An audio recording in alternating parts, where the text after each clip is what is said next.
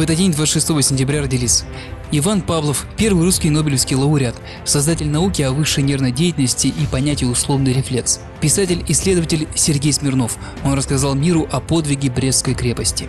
26 сентября 1641 года произошло снятие турецкой осады с крепости Азов. Этим окончилось героическое Азовское сидение донских и запорожских казаков, многомесячная оборона от превосходящих османских сил. 26 сентября 1896 года было основано Московское инженерное училище ведомства путей сообщения. 26 сентября 1983 года советская система предупреждения о ракетном нападении дала сигнал об атаке со стороны США. Дежурный офицер Станислав Петров верно разобрался в ситуации и не стал поднимать тревоги.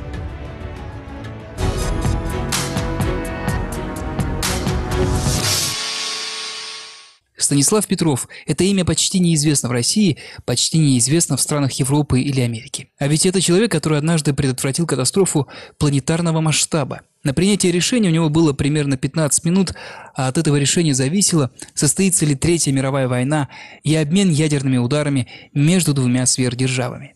26 сентября 1983 года в 0 часов 15 минут в командном пункте Серпухов-15 раздался сигнал тревоги. В этом сверхсекретном месте под Москвой находился головной мозг системы раннего космического предупреждения ОКА. Здесь собиралась вся информация о запусках ракет с территории вероятного противника США. И вот сирена орет, как оглашенная. Сверху на стене горят большие красные буквы «Старт». Значит, ракета точно пошла. Я посмотрел вниз на свой боевой расчет. Кто-то даже вскочил со своих мест, на меня оборачивается – Повысил голос, приказал немедленно занять свои посты. Это воспоминание самого подполковника Петрова, от которого теперь зависело все. Система кричала о том, что на СССР с территории США несется ракета. Нужно было дальше передавать команду об ответном ударе уже в Москву, куда-то туда, где бежит еще один дежурный офицер с черным ядерным чемоданчиком. И опять слово подполковнику Петрову.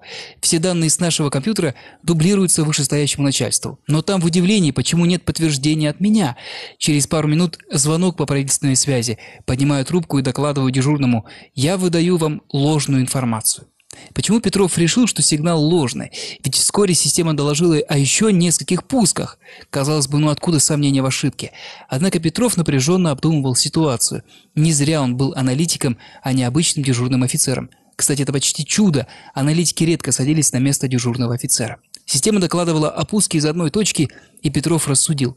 Нападения во время войны не начинаются с одной единственной ракетной базы. Подполковник, вопреки всем инструкциям, решил ждать информации от визуальщиков, особого отдела, в котором следят за тепловым ракетным следом. Оттуда, спустя несколько томительных минут, доложили, что атаки не видят. Все эти события развивались в течение приблизительно 15-20 минут. Что пережил подполковник Петров, одному богу известно. Лишь получив подтверждение от других систем, что так и не видно, он мог быть уверен, что не прозевал ядерную войну и не дал обмануть себя неведомо откуда взявшемуся ложному сигналу. Уже потом выяснилось, что облака запустили солнечные зайчики по военному советскому спутнику. Это-то и дало начало тревоге. Наградили ли Петрова, приставили к ордену, нет.